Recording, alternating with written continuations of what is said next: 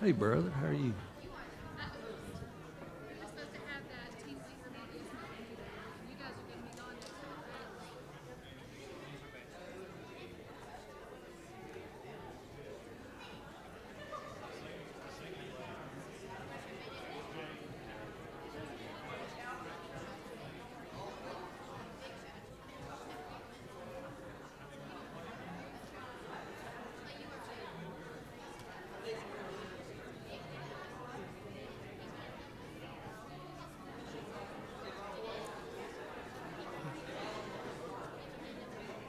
Hello, hello.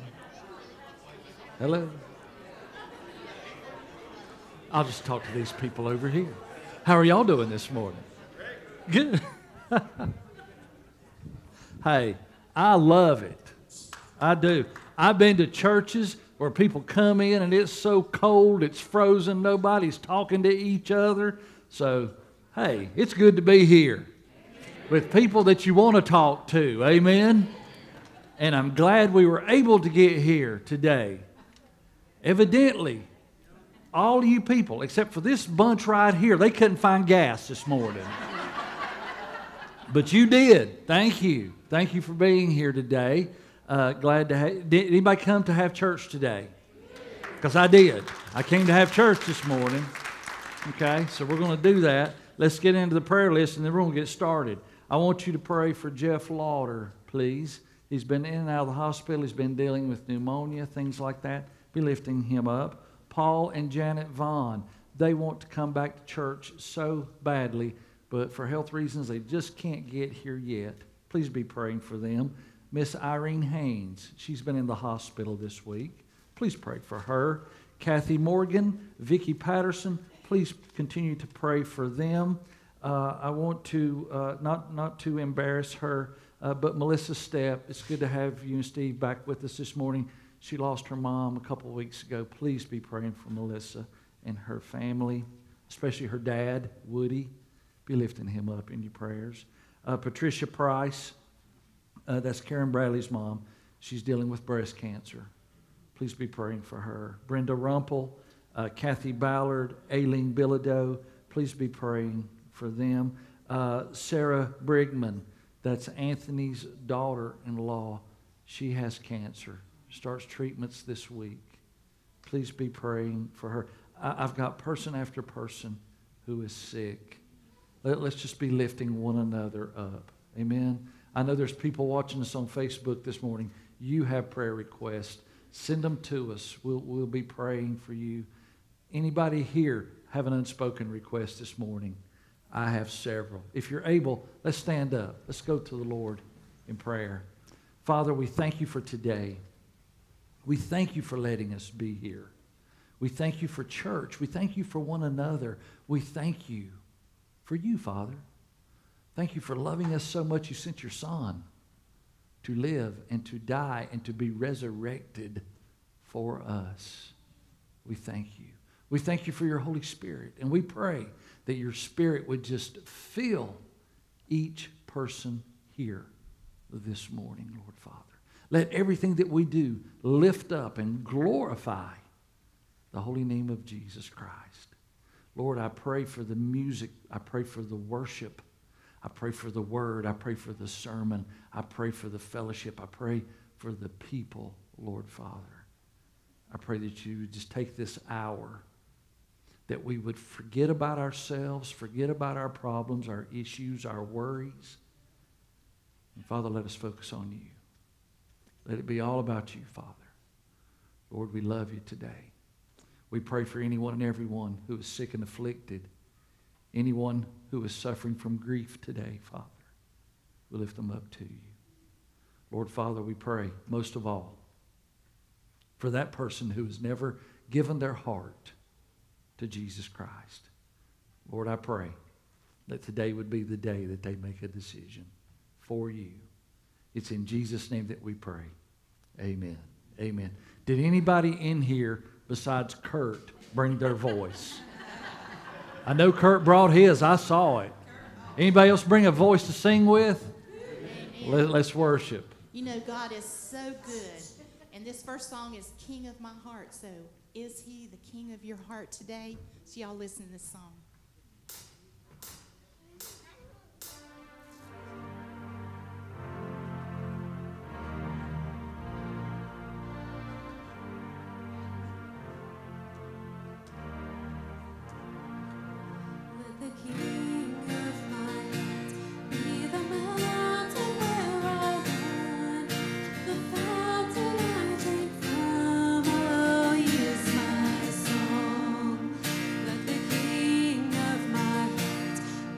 Heart be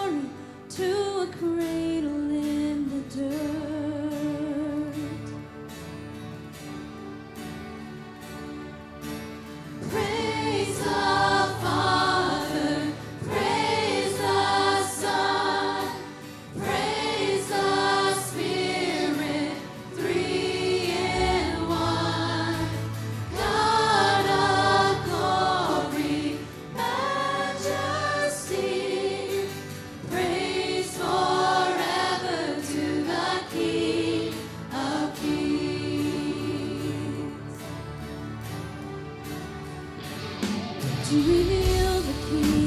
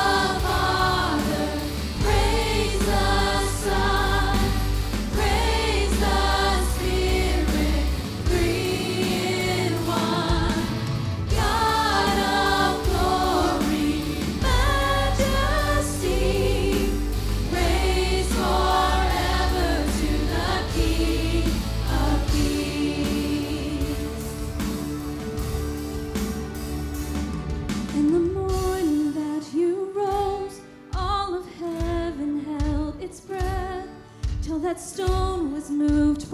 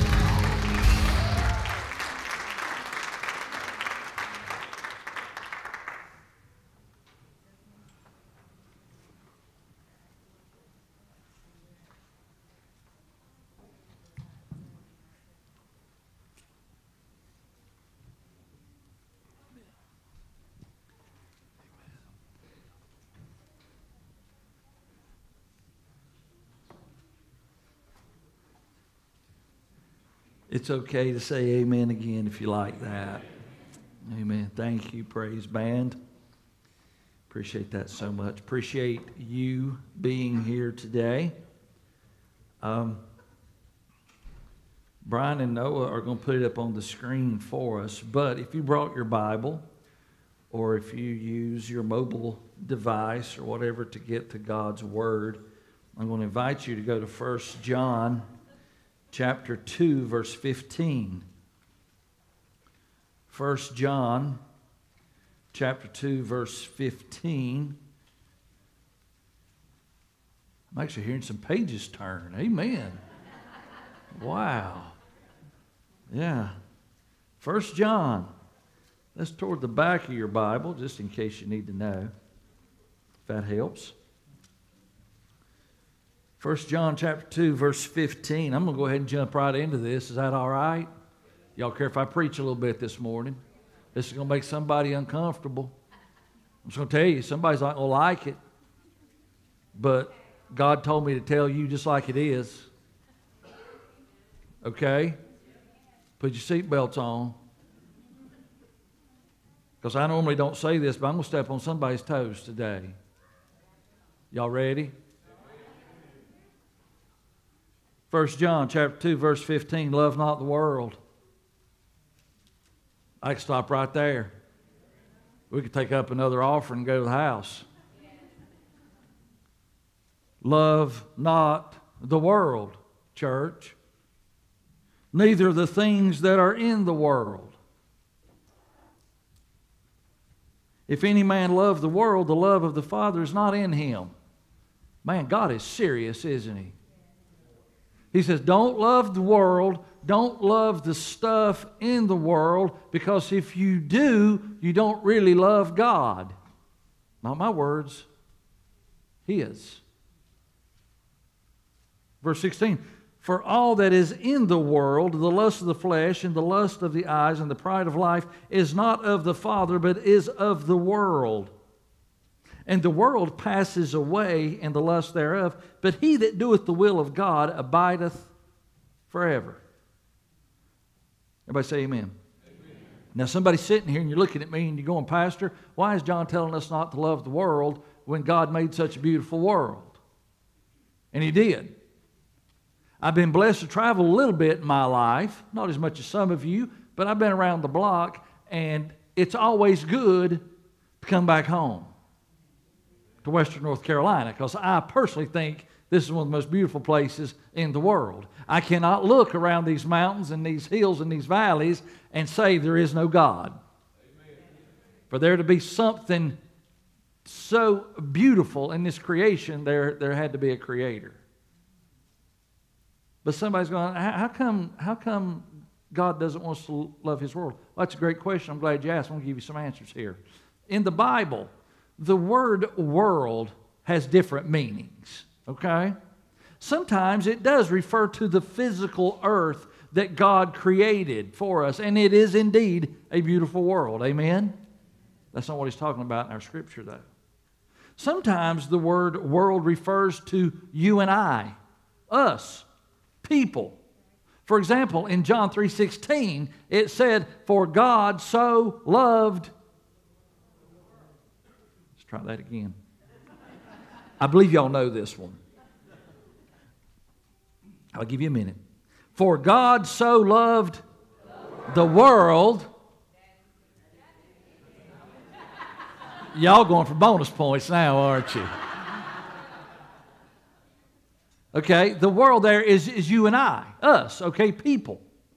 But right here, the word world comes from the Greek word cosmos, which means order, arrangement, a system. Church, the world has a system that operates differently from God's kingdom. Do you believe that this morning? Okay?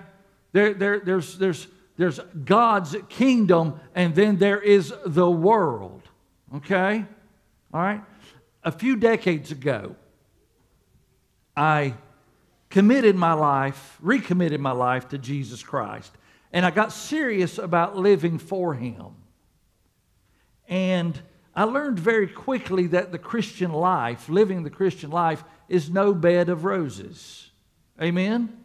You see, I thought, because I was young and I was naive and I didn't understand the kingdom of God and the world that I was living in and being influenced by, I thought that when I recommitted to Christ and I got serious about God, that He would make everything good in my life. I wouldn't have to worry about my problems anymore. I wouldn't have issues with people or situations or things like that anymore. Things would be good. My problems would disappear.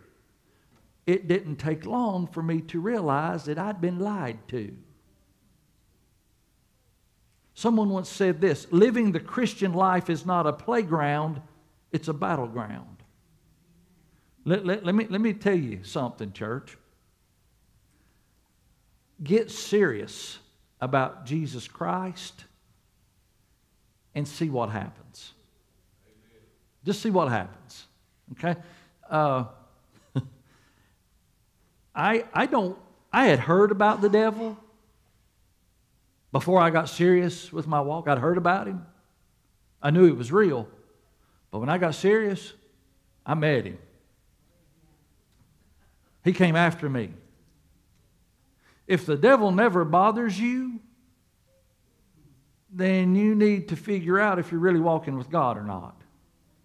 Okay? Because I can promise you, when you get serious, I know I keep saying that, but when you get serious about your faith, about your walk with Jesus Christ, some demon's going to come up behind you and put a bullseye on your back. And he's going to shoot for you every day. But that's okay, because greater is he that's in you than he that's in the world. Amen? Here's my point, folks. There's a, there's a, a struggle, there's a war going on. Do y'all believe that? There, there's a struggle, a war. We don't always see it here in the physical realm, but it's very real in the spiritual realm. As Christians, God wants to help us, He wants to bless us, and He wants to guide us in, in His paths and in His plans for us. I've seen Him do that in my life. Again, when I got serious about my walk I could see where God was trying to do something in my life. Okay? But here's what happened this world kept trying to pull me back. Anybody been there before? As I'm trying to walk with God, at the same time, the world keeps trying to pull me back into its system, into its way of thinking, into its way of operating. Church, listen, the world we live in has ideals, values, philosophies, and priorities that oppose God. Do you believe we live in a, in a world that opposes God? Let, let me make it, let me make it uh, more personal for us. I can't talk about other countries, other nations. I'm not there. I don't know what's going on. I'm talking about the United States of America, our country. Do you think it's trying to push God away? Amen. It is. The world is opposed to God. We can see this opposition, this war happening right before our eyes. Turn on the news, turn on the television, and you are being, gosh, this is preachy. You're going to be indoctrinated. You're going to be told what to believe. Oh gosh, parents, keep your children in church. Keep them close to the Lord. I see lots of little ones here, kids and grandkids. Keep them close to the Lord, folks, because the world is trying to indoctrinate your children, trying to pull them away from Jesus Christ. The world that you and I live in, they want us to believe that God doesn't exist. They want us to believe that, that God isn't the creator, that all of this just happened, you know, somehow by accident. They want us to believe that the Bible is just another book and it's long outdated and you should throw it away. It's no good anymore. They, they, they want the world to believe that, the, that people of faith are, are, are backwards, that we're ignorant. And, and I've even had people tell me I'm stupid for what I believe in. They want, the world wants us to believe that, that Jesus isn't the only way to heaven and that you're intolerant, you're bigoted, you're narrow minded if you believe that way. If you have, listen to this, church, if you have a biblical view, everybody say biblical view. If you have a biblical view of marriage, sexuality, and gender, then you're a hater and you should be canceled by our culture. We see it. We see it. People's lives are being destroyed every day on social media and all this stuff because we don't believe like the world believes. The world wants us to believe that the number of likes you receive on social media that determines your value. Let, let me, let me talk to some teenagers here uh, this morning.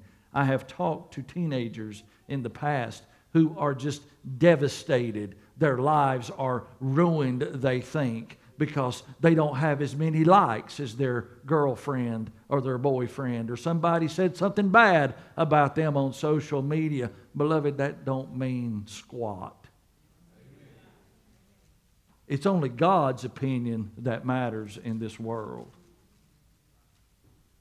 Our world wants us to believe that how you look is more important than how you conduct yourself.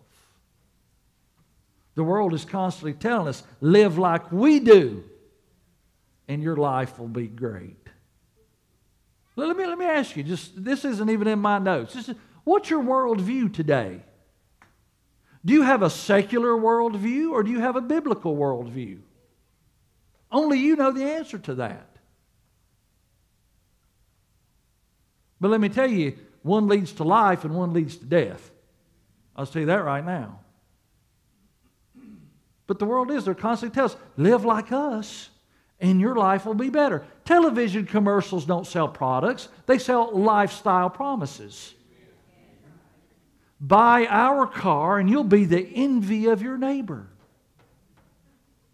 Ladies, wear this perfume, and men will actually walk into buildings because they can't see where they're going. They'll be so blinded by your sin. And men, you drink our beer because if you drink our beer, then bikini clad ladies will magically appear at your house. That's what they're telling us, isn't it? They're not selling beer, they're selling ideals. They're not selling perfume, they're selling values. Television programs. Oh, I love to watch a funny sitcom. And there used to be some good ones. But now everything has an agenda. They're ti- trying to indoctrinate you. Listen, church, they call them programs for a reason. They're programming you. We're going to keep showing you something that you know is biblically wrong, but if we keep showing you enough, then you're going to accept it. Television program. They- program us, and they've been doing it for decades. That's why much of this generation in their teens and 20s, we've lost them because they don't have a biblical world view anymore. They believe what they're told on social media and on television, and they accept it. Church, here's the question you and I have to answer this morning, right, right here. We have to answer this morning, okay? Do we love God or do we love the world? We have to decide. Well, preacher, I don't want to decide. You have to decide. If you're if you're serious about your Christianity, you have to decide. Brian, why can't I just have both? Why can't I love God and love the world? Well, church, here's the thing God doesn't allow any fence sitting, He doesn't allow it.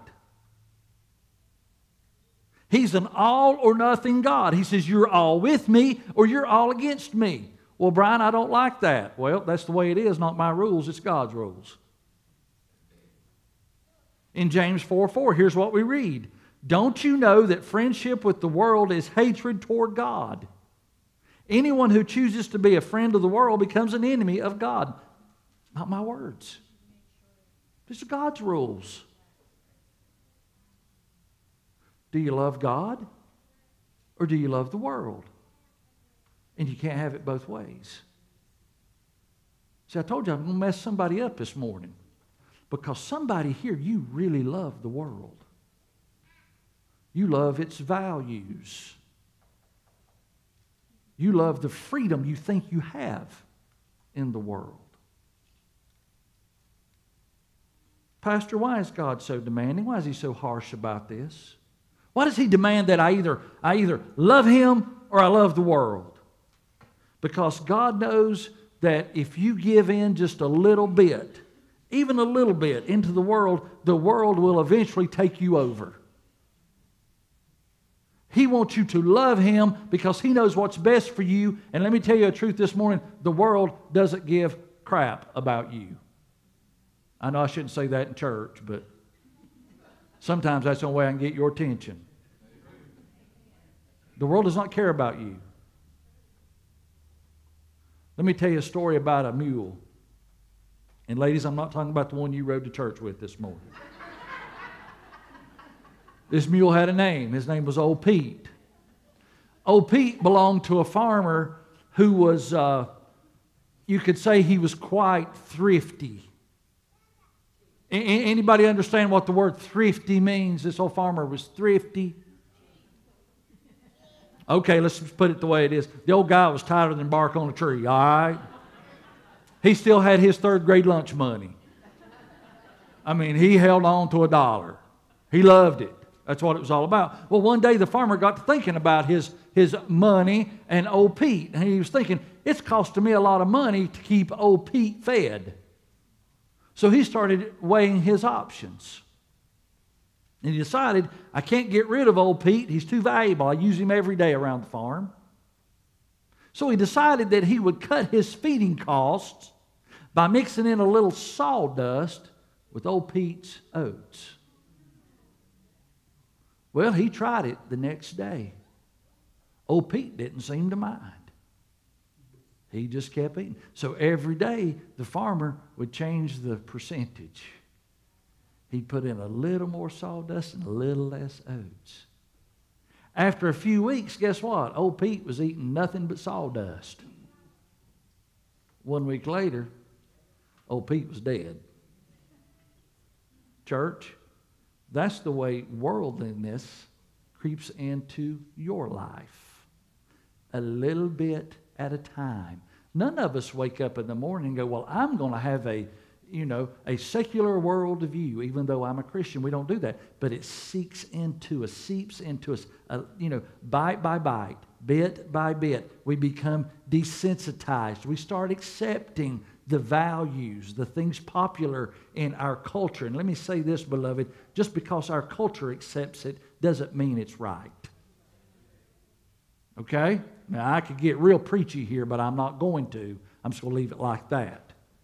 Just because, you know, people say, well, that's fine and that's good, it doesn't mean God's okay with it.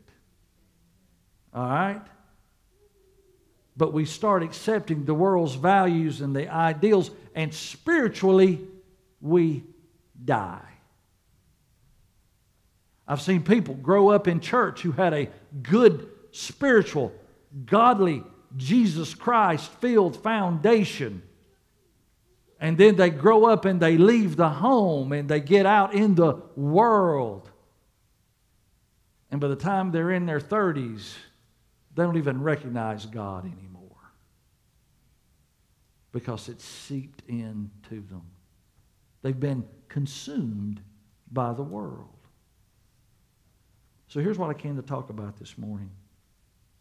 And this is, this is for people who are serious about their walk with Christ.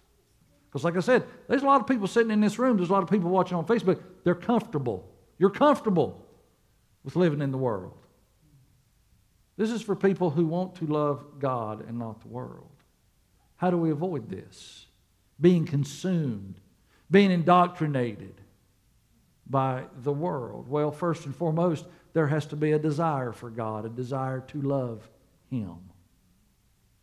Unfortunately, a whole lot of church folk lack that desire. They, they're, they're content to sit on the, on the fence, one foot in church and one, one foot loving the world and the things in it. God has blessed a lot of us, and we're thinking, now, preacher, I understand about loving God, but I got some really good stuff that He's blessed us with here. And we really like our stuff, or, or I like my lifestyle, or I like this idea of doing this or this. You know what we call those people? Theologians call them carnal Christians, fleshly Christians. They put their faith in Jesus Christ, but they haven't allowed the Holy Spirit to renew their minds. So they still think and still act and still operate like the world according to their flesh. Now, let me talk to those who do have that desire to love God, the, the people who are serious about God, who want to love God more than anything else, then John gives us three things here that we need to be looking out for. Three things. We find them in verse 16. Number one, he says, Watch out for the lust of the flesh. Watch out for the lust of the flesh. If your flesh constantly controls you, if you find yourself almost daily or weekly, losing your temper, cussing and fussing and carrying on when you're supposed to be a quote unquote good Christian, a believer, then you're dealing with lust of the flesh. You're letting your flesh control you. If, if, if, if you're trying to, to be the person God wants you to be, but you keep going back to those old old habits, those old things, those old way of, of, of living, then you're being controlled by your flesh. If your physical desires, if, if they drive you, you know, you, you, you're, you're drawn to people you shouldn't be drawn to because you're a happily married person, then the, the flesh is it's eating you up. You, you belong, beloved, let me just say it, you belong to the world. The world has consumed you, it, it, it owns you, it has a grip on you. Number two, says, watch out for the lust of the eyes. John says, watch out for the lust of the eyes. Now, this may come as a surprise to you, and it did me years ago when I first really got into this scripture. You know, I thought John was talking about, when he said lust of the eyes, I thought he was talking about, uh, for me personally, seeing a pretty girl walk by me going, whoa, hey, you know, that's lust. Of the-" No, that's not what he's talking about. That goes in the prior category. That, that's lust of the flesh. Okay? Let me, let, me, let me open this up to somebody right here. What John is talking about when he says, watch out for the lust of the eyes, he's talking about an obsession with possessions. An obsession with possessions. I see it, I want it. Anybody ever been there? I see it. I- we got one honest man here. He went, Yeah, brother. Yeah, brother. Well, I'm going to go ahead and confess to you. I, I fight that. Lust of the eyes. And, and, and, I, and I, I'll, I'll just, I'm just going to shoot. Let's just get real here this morning. I, I'll tell you where I, where I struggle. I, I, last year, my, uh, my older son got married. And uh, he'd been driving the same vehicle through high school and college. And I mean, it was on its last leg. And a week before he got married, he decided, I think we need to get us another car so we can at least go on a honeymoon. Okay? So Tammy and I agreed, yeah, we'll, we'll go. We'll, we'll, we'll help you with this thing. We'll do that. So we go out to Boyd Chevrolet Cadillac. And he finds him a nice little Malibu for him and Haley, perfect little car. And they're in there doing the paperwork. Well, and that takes a little while. While they're doing the paperwork, I decide I'm going to stroll through the parking lot.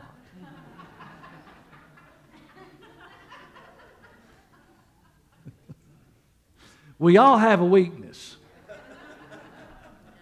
Grayson, you got one. Tim, you got one. Todd, you got one.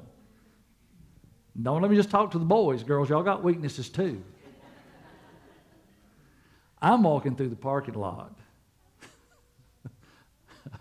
There she was. oh my goodness.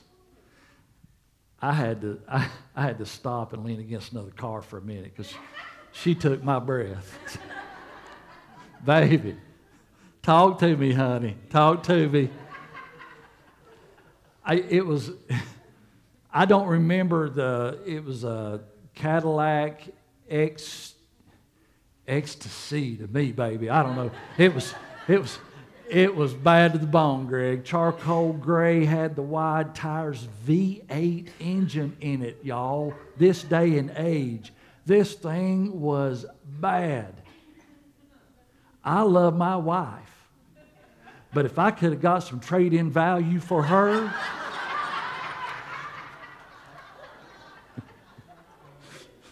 she'd have been out on that lot with a for sale sign. I'd have traded that girl in. Now, I'm being funny, but I'm telling you the truth. Because listen, folks, I could not afford this car. I think it was Seth. You'll have to. It was eighty thousand. It was. It was. It was a bunch of money. But Kurt, for a minute, I thought about it. I can sell this. I can give blood. I can. I can make this thing happen because I'd look good in this car. Okay, lust of the eyes. Now, see, for for me, you, you know, you show me a car or a truck, I you know, I, I, I get a little crazy. Now, see, like I said, now, every one of us has something. Every one of you has something. I'm being serious now. And listen to this Satan has studied you and I, he knows our weakness. And he will constantly put in front of us what will make us lust, make us want it. Did you know that your eyes have an appetite? Your eyes have an appetite. That's why people come to you and go, Feast your eyes on this. The devil knows it. Look at this. Look at this. Our eyes, it's, it's not our brains, it's not other organs that Satan tempts us with. First, it's our eyes. And he's been doing it for millennia. He did it to Eve. The very first sin, he started with Eve's eyes. Think about it. You don't have, it's in the book of Genesis, you don't have to read far. So, Pastor Bill, you say, I thought you don't have to read far. Just go. Part of the reason Eve listened to the serpent, listened to Satan in the Garden of Eden, because she looked at the forbidden fruit, and it says in there, it was pleasant, it was pleasing to her eyes. And Satan's been doing it ever since. Listen, the devil's tactics have never changed. A lot of you are going, boy, I'm, I'm on, the, I'm on the lookout for the devil. I, you know, no, you don't have to look out for him. You know what he's going to do. He's going to put your weakness in front of you. His MO has always been the same show somebody something desirable, and they'll bite every time. That's what you need to look out for. What is your weakness? What is it you what is it that you would give something up for to get? Folks, listen. The world owns us when our possessions, our clothes, our cars, our homes, our land, our stuff mean more to us than anything else. If what you drove to church in means more to you than just about anything else, then the world owns you. What do you think the most what do you think the most precious thing on this earth is? What do you think it is? Most valuable, most precious thing in the world. What do you think it is? Gold? Silver? Gasoline today? Blood? Life? Time? No, no, no, no, no, no. I'm convinced. I, I know what the most valuable thing in the world is. I know it. It's grass. It's grass. Grass is the most important thing to people in the whole wide world. Grass. I work construction. I know. You pull up on a job, if you touch the neighbor's grass, Tim, am I, am I preaching truth today, brother? You ain't never been cussed till you touch somebody's grass. Greg, am, am I preaching truth, brother? Do not touch my grass. You can touch my wife, you can kick my dog, but do not touch my grass. I deal with that every week on my day job. Do not touch my grass. Now, you think I'm being funny, but I've seen families destroyed over a piece of grass. I know, I know parents and children who will not speak to each other, brothers and sisters who have broken up years before because of a piece of grass. Something that they cannot take with them when they die. But by George, we're going to fight about it till we do. I believe God stands in heaven and goes, Really? Really? You ought to see what I've got up here for you, and you're worried about an acre of land down there that's going to be destroyed anyway. Church, listen. If you'll give up a friend or a family member over a material possession, then the world owns you. You love the world more than you love God. Number three, watch out for the pride of life. Watch out for the pride of life. Friend, if you're more concerned about what your boss thinks about you, what your friends think about you, even what your family thinks about you than you do what God thinks about you, if you live to impress and please people more than God, then you love the world more than you love God. That's as simple as I can put it. Who are you living to please? People or God? If it's people, then you have the pride of life in your heart. And you love the world more than you love God. Beloved, I learned a long time ago being in the ministry. People are really hard to please. Amen? People are really hard to please. In fact, I could bring up something right now, just, just off the top of my head. Say, as a church, we're going to do this. Half of you would love it, half of you would hate it. Why? Because you can't please people. I learned a long time ago, and I hope most of you have too, you can't please people, you got to please God. Can I be personal with you? There have been times in my ministry and in my life that Tammy and I have actually gotten into arguments because I felt like God wanted me to do this. But she said, I think we ought to do that. But I've stuck to my guns and said, I really feel like the Lord wants us to do this, and, and, and we, we've done that. See, I, as much as I love this woman right here, and I, I love her more than anybody else in this world, I cannot live to please her. Are, are you hearing me, husbands and wives? I cannot live to please her. I have to please God. But if I'll please God, ultimately I'll please her. Are you with me? Okay? The closer you get to God, the closer you and your spouse will get. Even if you're at odds, you'll end up in the same place. That was free. That was not in my notes today. Let me close with a warning. And then I'm going to close with an awesome promise. Okay? It's found in verse 17. Here's the warning. And the world passes away and the lust thereof. Everything that you love about this world, everything that you're investing into this world is going to pass away. This thing that you think you've got to have, that, that affair, that person, that action, that whatever it is that you've got to do, it will pass away. Here's what God says if you're living for the world and all the stuff it has to offer, then enjoy it as fully as you can.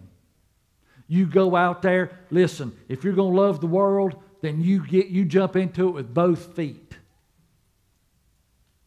Just I mean, I'm telling you as a pastor, you just you jump into it and you get it and you live it up and, and you enjoy it and you climb those ladders and you accumulate things and you gather and you store and you build bigger barns just to keep your stuff and you do all of this stuff. You do it because that's all you're ever going to have.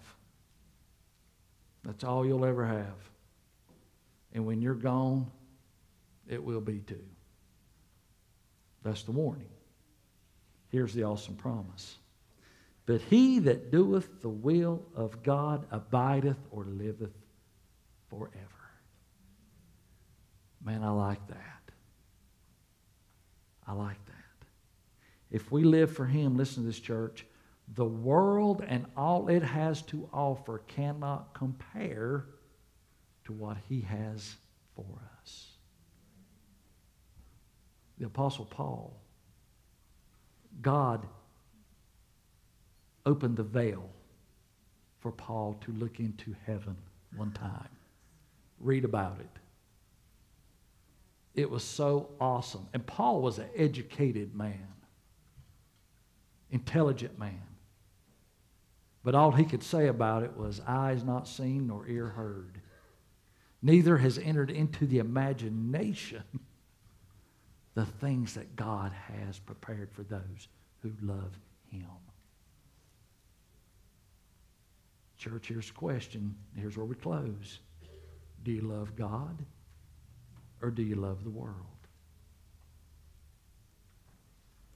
Pastor, is it really worth it to, to love God and, and, and not love all the things in this world? Yeah, oh, yeah, it is.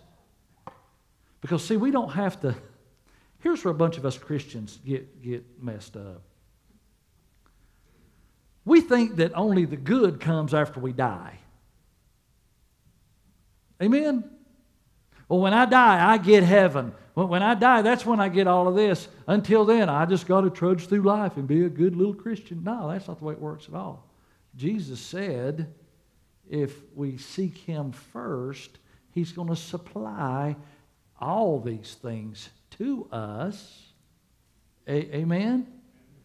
And I think Jesus also promised us an abundant, full life right here, right now, didn't He? Let me tell you something. I got heaven coming, but I get a little bit of heaven here on earth too. Because God's pretty dad burn good. Amen. Stand up this morning, please. Donna's going to come up. She's going to play just a little song for us. And as she plays, I'm going to ask.